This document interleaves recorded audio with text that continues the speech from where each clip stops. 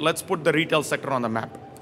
The main reason is because, because the retail sector is the most adaptive segment that we have seen in the marketplace in terms of market evolution.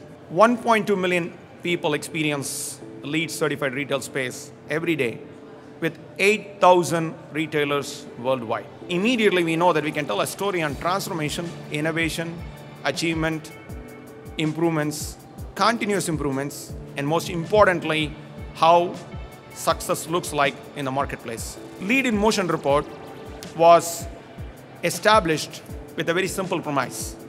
LEED works. We set a goal in 2010 to build all of our new company-owned stores uh, to a green building standard. Uh, which ended up being LEED. We need environmental initiatives, we need a way to do this, and LEED came to the forefront in a way that was able to make it possible. Beyond the fact that we're um, over 500 LEED certified stores now, that's across 19 countries um, and continuing to grow. So that um, I don't think we could have achieved that with anyone else. I would love for us to be able to start thinking more outside the box and challenging our consultants and engineers that work with us to say, okay, here is our LEED checklist, here's our LEED store that's certified.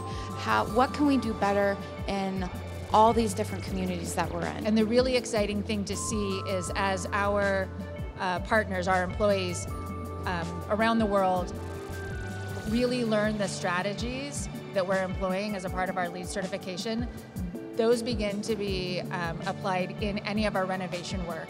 And so we're seeing the impacts of this program go far beyond the 500 stores that we've certified. Um, tremendous savings in energy and water, and we're really we're building better stores, and it's exciting.